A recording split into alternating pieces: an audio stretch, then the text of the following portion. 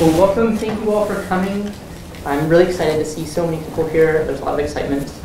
Um, we had this idea to put together this workshop because we were interested in deep learning human informatics, and it turned out there was a lot of other people that were interested as well. So I, this, I hope, is sort of the beginning of, of a community that's going to grow.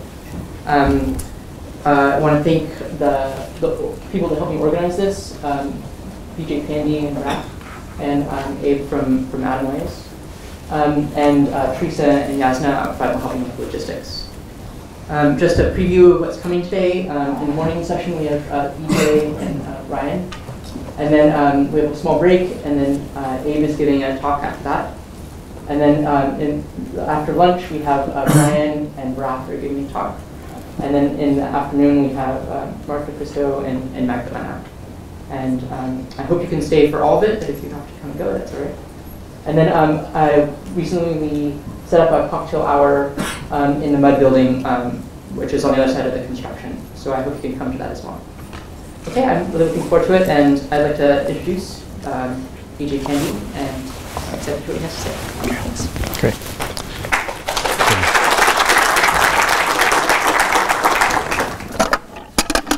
Great, thank you. Yeah, the uh, the cocktail hour sounds like it's very far away. It's like 30 seconds uh, just around the, around the corner. And uh, in particular, one of the things that I am um, particularly pleased about schedule-wise is that we have a lot of breaks and a lot of time for people to chat. And I think that's going to be a very important part of today. And I'd love for uh, people, especially who don't know each other, to get to know each other. Okay. So actually, you know, the, the title of my talk, I think was given to me. I'm not even sure by which organizer. Um, but so I, I, strive to, to uh, live up to this title. Uh, the title is, the, and actually I slightly changed it. I turned the statement to a question. Uh, the irrational exuberance of deep learning, can the breakthroughs in imaging and natural languages be replicated in, in cheminformatics?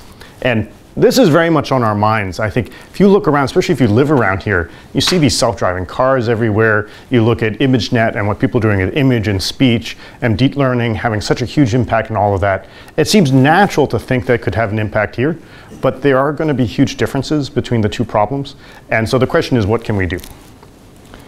Okay, for this audience, I think is old hat, but I think we all know about Moore's law. But you know, I think this is something where we think about intellectually, but that you know, just wrapping our heads almost like emotionally around the fact that the cost of compute and storage and genomics and mobile and all these things are decreasing exponentially is really, I think, hard to really fathom. And the way I think about it is that I think about just from my own personal story. When I was in grad school, um, I, I, used a CM5. Was I was at MIT. It was an amazing machine.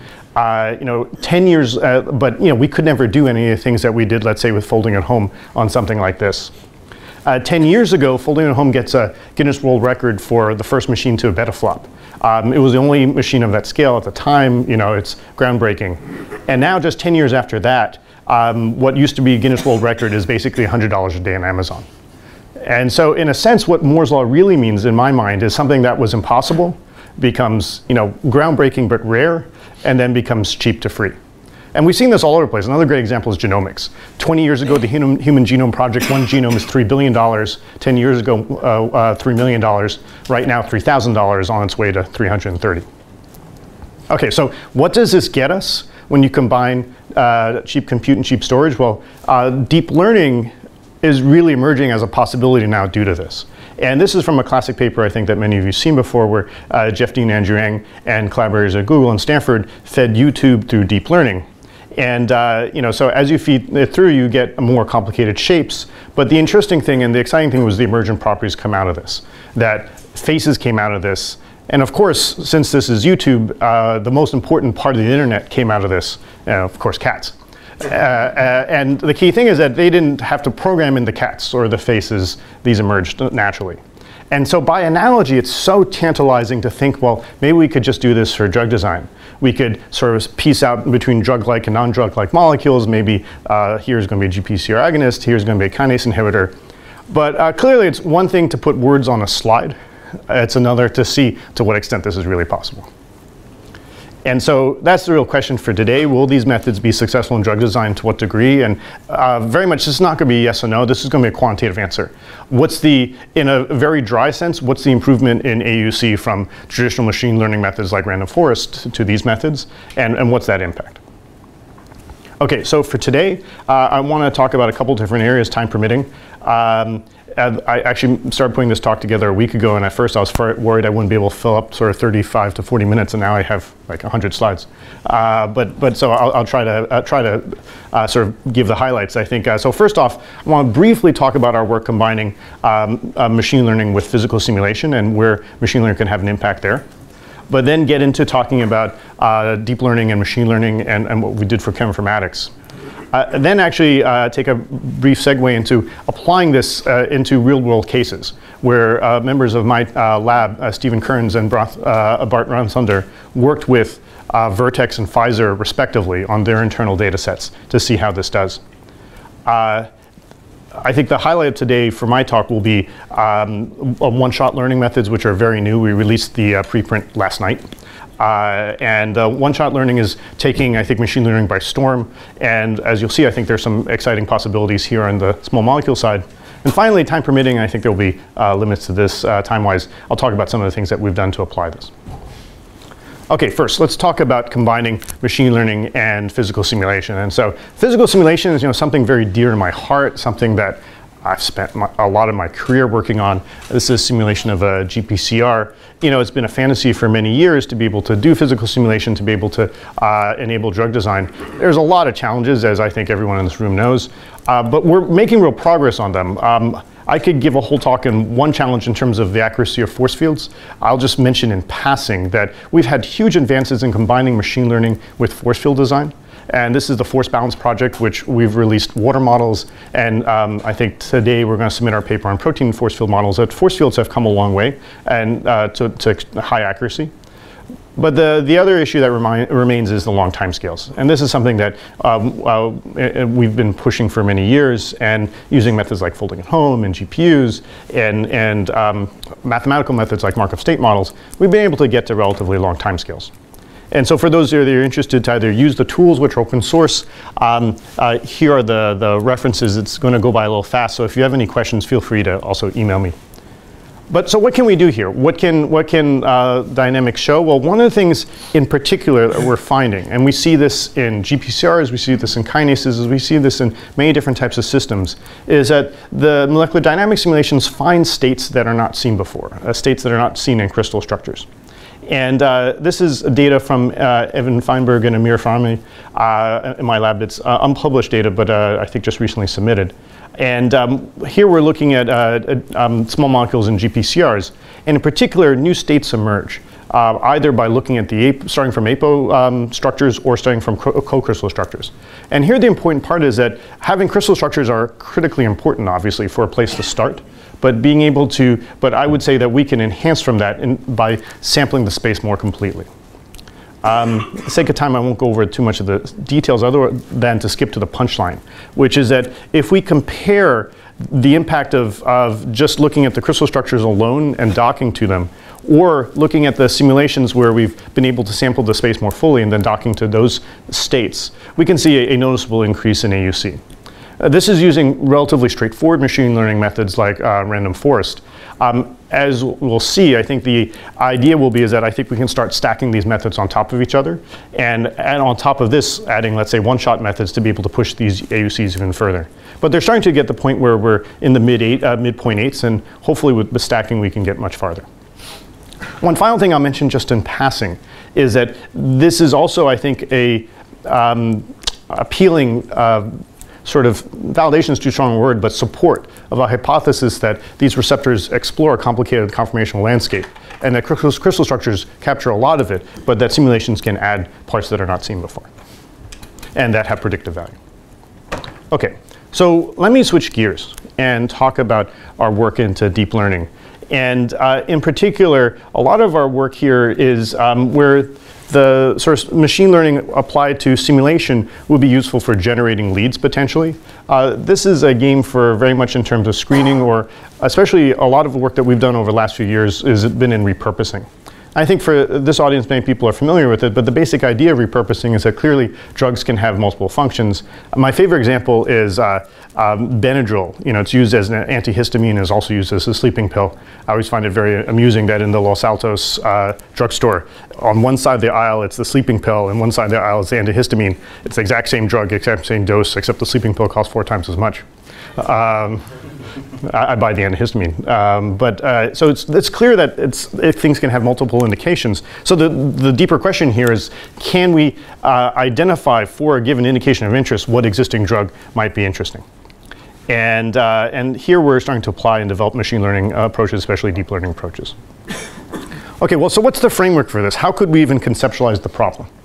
Well, to conceptualize a problem, I think before applying machine learning, a natural approach here would be to take some, something simple like shape-based similarity.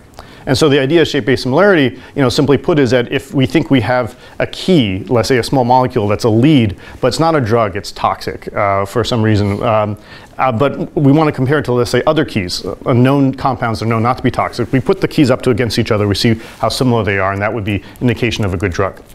And uh, this is, you know, in, there are many commercial tools that do this, like OpenEye Rocks, and this is actually commonly used and, and can be fairly powerful. The challenge here, though, is that if you're comparing real keys, you know, we have a sense for what similarity means.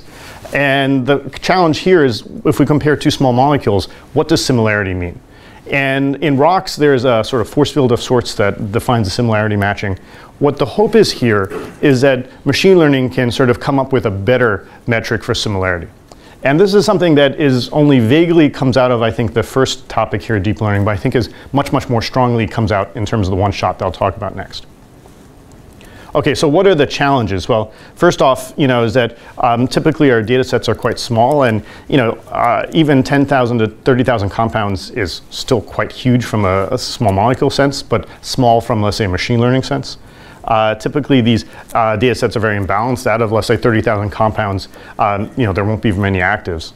And then finally, and this is really the key point, is that uh, featurization is always the challenge. Is you know, if we can't come up with the right features, uh, ML, especially traditional ML, will fail. And so what are we going to do here? Well, um, so uh, one of the things that um, a, a, paper that we published in uh, collaboration with uh, members of the Google team, and I think uh, David, I think, is here.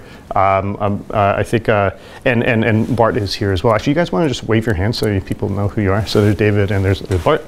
Um, and uh, I'll be talking about this work here, and in particular, uh, for all the machine learning work that I'll talk about from uh, my lab, this is uh, in an open source package called deepchem.io. Okay, so why did we apply deep learning? Well, um, there were really some wonderful results from the Mercagli contest that especially multitask deep networks were useful. And the idea about a multitask network, as we'll see, is that it allows us to learn uh, a lot of information and hopefully apply it to new tasks. Um, and then, you know, clearly um, other methods like images and speech were doing quite well. But there are outstanding questions at this point. You know, can we come up with the right featurizations uh, to make this work? And, uh, you know, often in deep learning, the sort of tagline, the sort of the marketing is that you don't have to featurize it because the DNN is going to featurize it for you. But that's not completely true, right? I mean, for an image, it's kind of obvious what the, the representation is. But for a small molecule, what is the representation? Uh, in the early days, we were joking that you know, we should just be able to take like a photograph of the 2D uh, ChemDraw, and, and, and the DNN should be able to handle that, right? Uh, but that's kind of ridiculous on many levels. It's almost like saying I want to take a photograph of a piece of text and have the DNN do OCR and NLP and on uh, everything on top. So there still are questions of futurization, and you'll see that in this work, um, we're still struggling a little bit, and I think in the one shot we make some progress. Um, and then secondly, what are the architectures that provide the best performance? So one of the key things that came out of this work is the sense of multitask learning. And so for people that are unfamiliar with multitask learning, here's the basic idea, is that often, especially in a drug design setting, we do not have a lot of data for our task of interest generally we have almost no data for our task of interest. So if our task is design a new inhibitor of a kinase that no one's ever seen before, um, there's not a lot of data for that. But there'll be data for related tasks. There'll be data for related kinases, which often have high homology, and also there'll be data for things without hom any homology, data for GPCR inhibitors and so on. And so the appeal about multitask learning is that we can throw in a lot of data and that the system essentially learns chemistry and learns about the nature of molecules. And, and so the learning in the other tasks are still useful for the new task. Another part of this, which I think is extremely important, and I think is under the rug technically, but we don't spend enough time talking about, is regularization. That it's very easy to overfit, especially when you're learning and you don't know very much. And this is, a, I think, a very powerful means for regularization. If you think about it, if any of you have kids or seen kids interact with things, I, I remember uh, with my, my daughters when they were young, you know, we had a cat at home, and the first time they saw a dog, they called it a cat and that's overfitting. Uh, you know, uh, it's close. You know, but I think it, this is the type of thing. If they had uh, more more more tasks to draw from, they might have done a better job there. Um, so, so what are the questions to address here? Well, so first off is, um, you know, do they do multitask networks provide a benefit? So recall the historical context of this is that um, in the Mercalco context, uh, contest, DNNs did already pretty well. So that's, I think, fairly well established. The question is, can multitask do better? And second one is that can adding more tasks uh, make it better? And then finally, can we um, extract sort of generalizable information about chemical space? And so a protocol here, I think maybe in the sake of time, I won't go over too many details about the protocol. I think with all of the key authors here, um, um, we can go into questions if people have time. And especially also, I, I should mention as a tangential point is that I would love the speakers to try to leave some time for questions so we can have a, a, a great discussion. So maybe I'll, I'll, just skip to the results.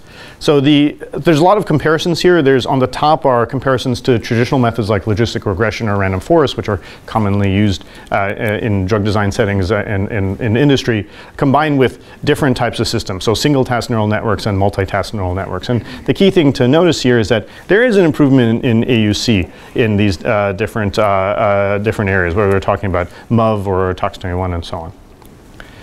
So what about these questions I ask? Like first off, how does more data help?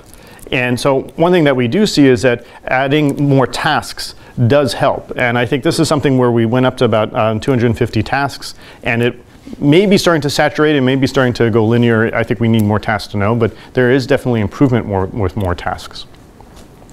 And let me skip this part. Um, and so, so the wrap up of this part here, just to summarize, is that, you know, how do we see how these things work? Well, you know, so multitask learning does seem to help, and I think this fits our intuition for how learning works. And, and, there, and it looks like there is room to grow. It wasn't like it was necessarily flattening out. It may have been going a little linear. Um, uh, and in particular, that uh, it appears that um, you know, we, we can possibly extract simple information. That's, uh, and one of the things that we've been wanting to do is to take what we've learned from the DNNs and extract information that we can apply to simpler ML. Okay, so this was a uh, this was not a true prospective test. This is something where we did cross uh, many-fold cross validation and so on. You know, what happens when we apply this to to the real world? Uh, real world, uh, as we know from the movie The Matrix, generally isn't as pretty. Uh, and so, you know, what would we see? So at this point, Stephen Kearns went to Vertex for a couple months. Um, uh, he was a grad student in my lab. He uh, worked as an intern at Google, uh, collaborated on these methods, and then um, did an internship at um, Vertex. And I'll make a, a, side here, a sociological side, is that I think this is also an interesting model for grad students more broadly in that Stephen, I think, got experience in many different places in a way that he wouldn't. Normally, he had an academic experience here at Stanford. He got to spend time with the Google team, and he got to spend time in pharma. And I think there's a lot of uh, information flowing in many different ways that way. And one of the take point, takeaways of my talk is that I think we will need to work closely because some of us have data, some of us are familiar with these methods, uh, some of us have infrastructure, and so on. Okay, so Stephen goes to, to Vertex. And this is a paper that we've submitted that's in the archive right now with Brian Goldman at Vertex. And basically what he's doing is he's applying the exact same methods uh, to, uh, uh, to data inside of, of, Vertex. And the reason why we had to do this is that, I, and I think for those of you in pharma will know very well, that pharma has really interesting data sets, but they're not just gonna like SCP it over here. you know, I think uh, that's never going to happen. So it's easier for, for uh, Stephen to go behind the firewall for, then, for the data to come out. Okay, so what did we look at? So Stephen looked at a couple, uh, several different uh, ADME, ADMET uh, data sets. Um, honestly, I don't really know what these things are because uh, they are inside the firewall, so I know them by their letters. Uh, and I think that's probably fine enough. I think I, one of the downsides of this approach is that because uh, this, the data is proprietary, um, we maybe can't go into all the nuances, but this is something maybe we could do as a follow-up. But given these data sets, you know, how well do these methods do? Well, in general, um, with only a few rare exceptions, they always improve uh, the AUC from uh, sort of simpler methods like um, random forest that we're looking at here. And, uh, and so in a sense, we've sort of validated what we saw before, that there's a similar improvement in AUC. And if you look at the details, and I know there's a lot of numbers here, and so maybe the key numbers to be looking at are, so let's, let me walk you through this because uh, uh, there's, there's just a lot. So we have a couple different architectures uh, coming down the line. And then for these architectures, we have a median AUC. Uh, we say median because remember, we're doing lots of cross-validation, and so this is the typical AUC that we'd expect. Um, we compare the median AUC to random forest uh, or to logistic regression, and it gives you this delta AUC. And then the sign test is the sort of confidence interval that we think, uh, in a sense, the, how strong we think that this is going to be better. And in general, the bolds are cases where we have a lot of confidence that the method would be better. In general, the method is always better because you see, uh, except for one maybe small case where it's uh, essentially comparable. So the method is never worse, but in several cases, it's, it's clearly better. And so this is one case in terms of, uh, uh, and then let's see what I want to do here. Maybe I'll skip this. So the, the take-home message from this, and um, I don't know if we have anyone from Vertex here, but is that I think there was confidence that this was working. The, the issue would be, so you may ask, well, is Vertex now switching everything out from random forest to DNNs? And uh, you know, there is a huge amount of infrastructure that it takes to do here. And so there's another sociological point I would make, which is that a company like Google has the infrastructure such that if they had a 0.1 increase in AUC, they would jump on that, and that's maybe worth several billion dollars, depending on the application. Um, in, in our space, uh, typically companies don't have that infrastructure, and this 0.1 increase in AUC may or may not be that much valuable. And, but these are questions that we have to do and we have to build in sociologically. Uh, as we start to increase this threshold, it's possible, you know, like 0.7 to 0.8 is not very exciting. 0.7 to 0.9, 0.7 to 9.5, uh, maybe that's where we start reaching the threshold. And that's where, especially in the discussion, it would be great to hear from people in industry what they view as the thresholds of where this gets interesting. Okay, and so then Bart um, went to Pfizer virtually. In this case, uh, he didn't physically go to Pfizer. Um, we had collaborators at Pfizer, and so that's why we're sort of in the middle of the author list here, and, and they ran uh, the code. And th the target here was base one, uh, common Alzheimer's target. And the workflow is similar to what we had before. And um, again, a lot of table with numbers, so I'll, I'll try to walk you through it. But the bottom line is that we got to a very similar place that if you look at uh, sort of the sort of usual suspects of methods that are used in, in industry, and let's say used at Pfizer, uh, and usual suspects for features like 2D fingerprints and so on, and you compare how we're doing in terms of the validation set. The AUCs on the validation set for these DNN methods are, are quite strong, let's say uh, 0.8s, uh, compared to like simpler methods, uh, which are typically 0.5, 0.6, and so on. Okay. So um, I want to only talk for 35 minutes, so I, and I want to spend most of my time on this next section.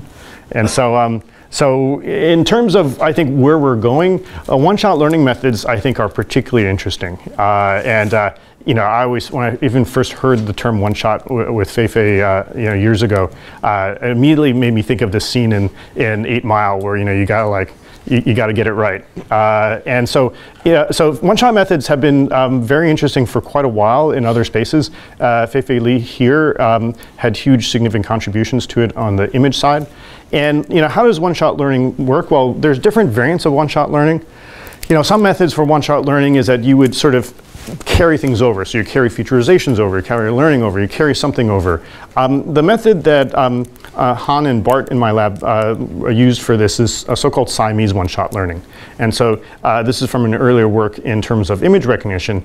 And this is the basic idea for Siamese one-shot learning, is that we have a bunch of twins. And so the question is, can we sort of say where the two things are similar? So you, you learn on certain things and you show a picture of an elephant once, not like a thousand pictures of elephants like you typically do in DNNs, but you have like one picture of an elephant. And given one picture of an elephant, could you identify that another picture of an elephant is the same thing? And the reason why this is useful is that in these training sets I talked about for DNNs, you know, we were happy to have 50,000 compounds with 50 actives. And some of the pushback that we got from people in industry is like, you know, by the time we have 50 actives, we don't need you guys. Um, and, and, that's a fair comment. So, you know, it's um, more like, uh, you know, what if we only had one active, one lead compound or five? What could you do there? And so this is where uh, this type of approach I think is especially appealing because at its heart, this approach has deep similarities to the way we uh, sort of think about this in a lot of the non-machine learning cheminformatics. If you think about what you're doing when you run rocks or run your favorite shape, uh, 2D or 3D shape a comparison algorithm, what you're doing is essentially this. Uh, you're sort of doing your own Siamese learning uh, in your head. Or if you're even a, a, a, medicinal chemist, what are you thinking about in your head? You have your own sense of similar or not similar that you've trained your own neural nets on. And so what I find particularly appealing about this is that I think this is sort of akin to the way that we've been doing this all along. And the, you know, the funny thing about deep learning is that in some ways deep learning is new computationally, but in a sense, we've been deep learning all along where we have one neural net to feed into another into another. It's just that the, the first neural nets was our, were our own brains and then we're feeding into our features into higher into simpler methods. Here, we're sort of trying to take us out of the system. But I, what I find appealing about this is that it's similar in spirit. Okay, so there's a couple challenges here, though. So again, pictures are easy, and, and I'm really jealous about people who work in, in, the image space because it's obvious what the sort of data structure is. So one problem is what's the right data structure? And so one uh, solution to what's the right data structure is to do um, convolution nets on graphs. And so um, to try to sort of untangle the uh, complexity there, when people look at pictures, they use a convolutional neural network. And the reason why is that a convolutional neural network can handle translational invariance on the picture. So maybe the soccer ball's here or here or here, that shouldn't matter. So ConvNets naturally handle a translational uh, invariance. What ConvNets on graphs do is that it's essentially a generalization of this, except instead of the translational invariance of where you are in the picture, there's sort of like a graph invariance of which part of the substructure you're looking at. And if you think about what people did with simpler fingerprints, like um, uh, where you just look at substructures of 2D structures, there's essence of this that are similar, but this has the hope to generalize on top of it and learn much better. And in a sense, what I like about this is that it reminds me of what people were thinking about in the image space, and it feels like a natural way to apply it to the, uh, to the molecule space. So there's been many work here. These are, I think, two um, key papers in my mind, one from um, uh, Harvard group and, and one from the Google group uh, um, with us as well. Okay, so that's one part. So, the, so if we combine these two things, the, uh, the one-shot Siamese learning and the ConvNets, what do you do? What do you get?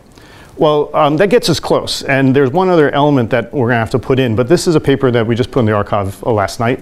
Uh, and so this is Han and, and Bart, uh, who um, waved his hand earlier. He's in the back and one of the co-organizers. And so um, this was our approach to combine these methods. There's one last part, which Bart is going to be giving a talk, so I will let him go into all the details. But the the key thing that's going on here is that uh, they've created an architecture that has a couple key parts. One key part is that we replace typical convolutional neural networks with graph convolution nets. And the other part, which is uh, interesting, is this concept of a residual, um, a long short-term memory.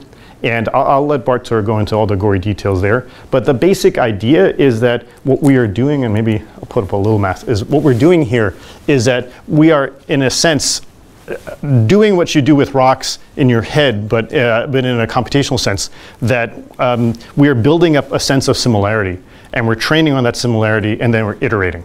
And in doing that, um, uh, the hope is that we'll be able to compare these two keys and know what the right way to compare them are, and in order to do one-shot learning. And so this involves a couple interesting tricks, and especially tricks that you normally apply to pictures like convolution and, and max pool now become graph convolutions and graph pools.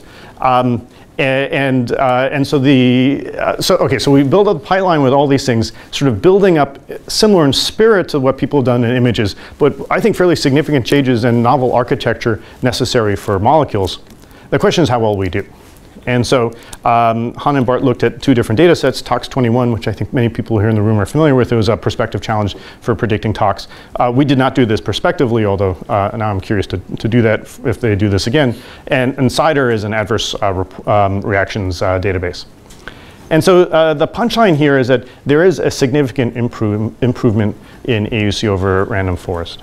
So uh, if you look at random forest, um, uh, so let's, let's take the top one, uh, TOX21. So when we go down, we're looking at less and less data. So a data set where we only have 20 points, 10 positive, 10 negative, all the way down to pretty small where you have one positive, one negative. Uh, about as small as it can get. With, with, with data sets that small, it's not a surprise that random forest is basically random um, that is getting you know 0.53, 0.57, and so on. Um, uh, you know, very close to 0.5. The intriguing thing is that even with these data sets, uh, our new method, this residual LSTM, is getting into the 0.8s. Um, And I think that is a pretty dramatic difference, and we see that both in terms of the TOX21 data set and the CIDR data sets. And where I think this is, so obviously this is interesting in terms of a real life application.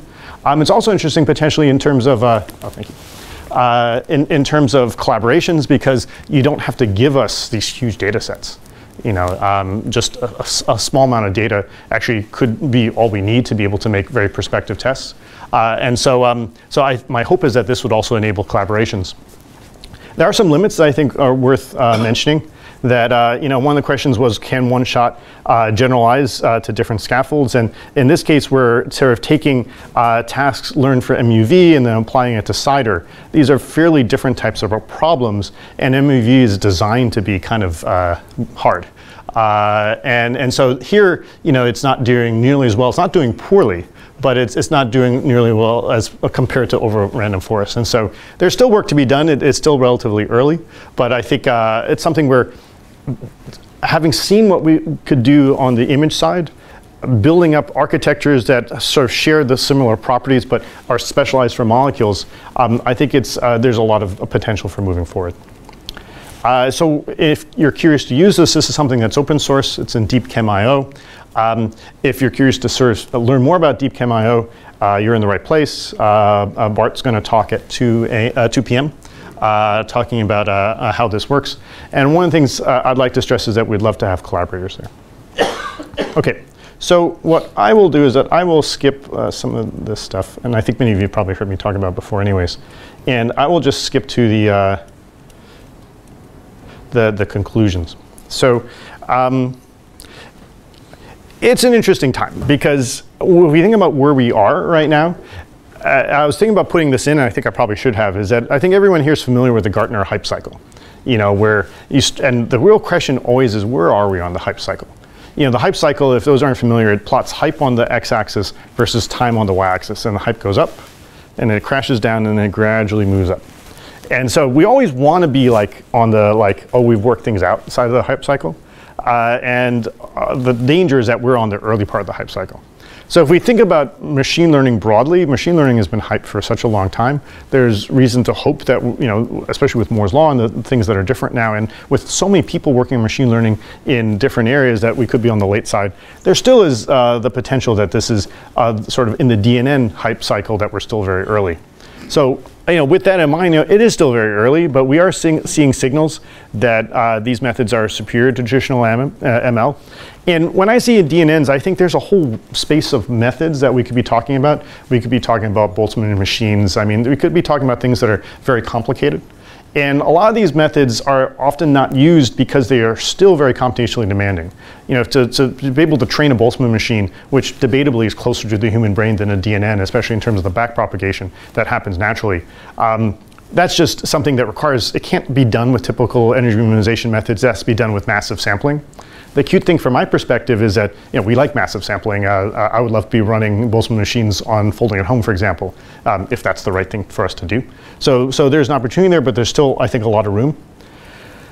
Secondly, and this is something that I see both on the Stanford side of my career and also on the um, Andreessen Horowitz venture capital side of things, is that a lot of times right now we've got very interesting data sets that are available and great ML code that's available, let's say you know, Torch and, and, and TensorFlow and so on. But if you just take off the set data shelf uh, code and off the shelf um, off the shelf data, off the shelf code, you're gonna get off the shelf results and uh, not surprisingly. And so really what I think is going to be important here is domain-specific ML advances. And so in terms of what we I, I just talked about here, I think uh, graph convolutions is a very appealing domain-specific um, advance, but I think we need to do a lot more. And so I'm excited that uh, Adam Wise is here and a, uh, um, a co-organizer of this. I think uh, startups, academia, and, and, and pharma will be very critical. And actually that's my last point, is that um, in, a, in order to make this happen, I think there's unique assets that exist in each one of these, uh, academia, startup, and pharma.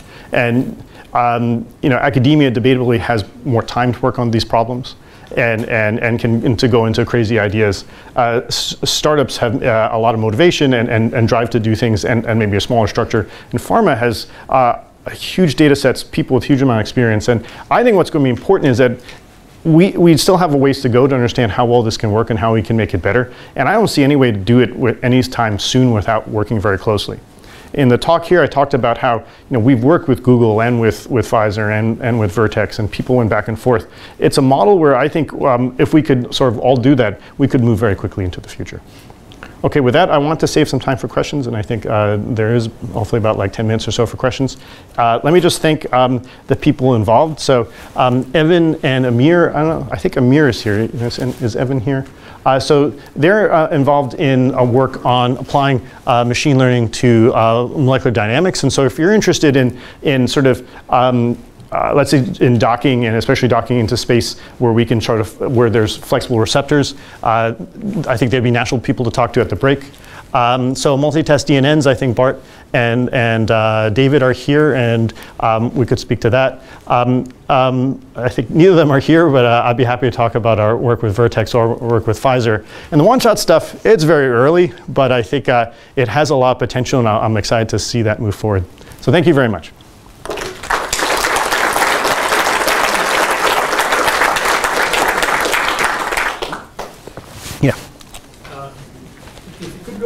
the multitask uh, yeah.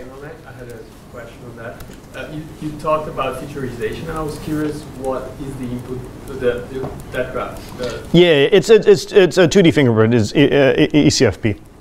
Okay. Yeah. Those 1,024 nodes. Yeah, that's the fingerprint. yeah, I'm, I'm, trying to think which graph you're thinking about here. Yeah, I mean, so it is those 2D fingerprints. I mean, I don't know, Bart, if you have anything you want to add. Yeah, I think you. Uh, do you want the one shot or do you want the, the original multi-test DNN? Uh, this one. Yeah. This one it just ECFP4 fingerprints, so um, RV based 20 fingerprints. Oh. Fairly standard stuff for featureization. Cool. Yeah. Uh, you might have mentioned, I missed it, but to comparing the result uh, on the CIDR dataset versus the uh, TOX21 dataset, it looks like in the TOX21 set, the, clearly the convolutionary uh, you know, graph and uh, deep learning perform much better. But on the CIDR data set, it looks like it's comparable to the random forest. I'm wondering whether you can comment on what's, uh, you know, what might be the reason. Yeah, I mean, I, I think here where we're training on CIDR and leaving out and then uh, and then testing on CIDR, we are definitely doing better. It's mainly when, so if you compare the, the table two uh, there to there, uh, so it's mainly where um, we're trying to now go training on like training on MUV and going into CIDR. And uh, MUV is, I think, a challenging thing to train on just because of the nature of, of the way that was explicitly designed. Yeah. Uh, would you able to dive into the like abstract features you learned in the network and see if they make sense in, like, in chemical knowledge? Yeah, this is very much something that I think is on our minds. And um, you know, we've been wanting to, to, to, to, to do this. I think, uh, let's see, you know, you know, one of the things that always comes up is, you know, can we go beyond this as a black box? You know, can we, can we learn from it? And, you know, the fantasy is that we can get to something that thinks more like an organic chemist. And um, I think it is very early, you know, here for, for, for, for this, uh, but that's something that is on our minds. Uh, what often happens is that you have to design networks that are intended to be interpretable uh, that maybe have poor performance but that um, are easy to pull things out from. And I think that could be the future of that. Um, also, in these cases, typically I would want to have maybe much stricter regularization such that it's we don't have some input uh, vector with like a million features that are important. We can pull out the three that have like 80% of the value rather than the 100 that have 99% of the value. And so I think th there's a lot of room for work here. Yeah. What's your perspective why drug companies don't want to share data, and is there potential for moving the field forward by uh, you know, machine learning on encrypted data or other ways of protecting aspects of the data that they Yeah, I think we all don't want to share data. I don't have my birthday and social security number up on the slides. Yeah. You, you know, I mean, uh, I don't know if there are people from, I don't know, uh, Jeff, if you want to add, add, to that or. Yeah, sure. It's, I mean, the, the, the life of the industry, a big part of it is all about protecting intellectual property. Patent life is short. Um, companies start literally having to deal with uh, generic onslaughts years before the patent expires. Um, but in areas that are target agnostic, like anti-tox, there, there have been successful collaborations where we can share those data. They're not tied to a target. But we do it in a way where the, the chemical structures are kind of encrypted. Great. Yeah, question? So just to, if I ask a more general question, Mhm. do you envision that the outcome of this kind of informatics will be a predictive sort of design where you'll be able to suggest a structure based on the analysis such that it may be a a potentially a more effective candidate? Oh, yeah, well, absolutely. I mean, you know, think about the, the, the pipeline that, you know, first we want to find leads and we want to optimize them and so on. I think in principle, this type of technology could be used very broadly. And in, in our tests here, we're doing things with cross-validation. So they are, uh, and t- uh, typically temporal cross-validation. So these are things that are intended to mimic the true perspective tests.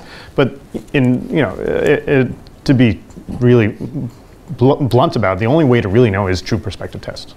And that's the next step, I think, for these things. So do you think you need to add a lot more predictive parameters in order to come up with structures that are accessible?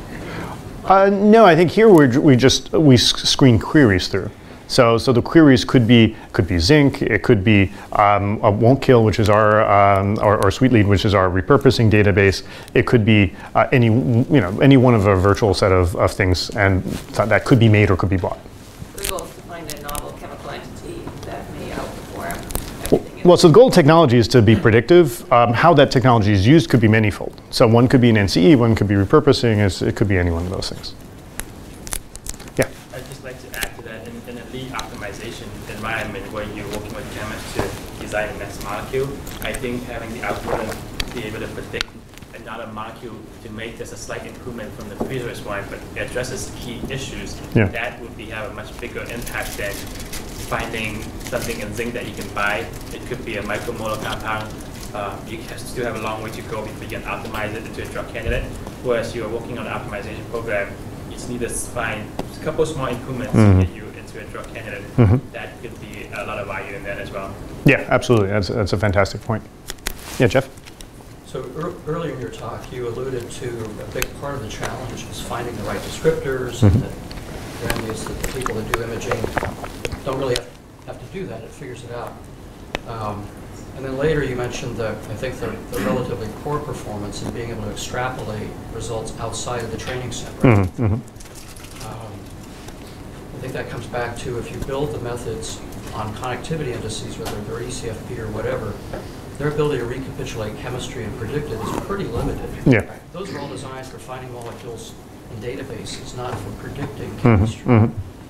But I think focusing on how do you find the descriptors that actually do a good job, in particular of predicting non-bonded interactions, probably the path we have to take. Yeah, I, I, that's a great point because these non-bonded things can be very complicated uh, in space, or especially with the receptor and so on. So I think they're interesting things to generalize both the fingerprints and also to include protein structures, receptor structures.